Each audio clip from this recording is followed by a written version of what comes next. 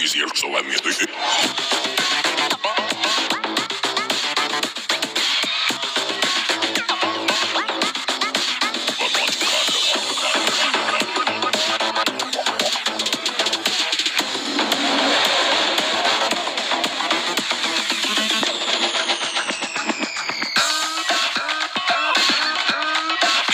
Simply clever.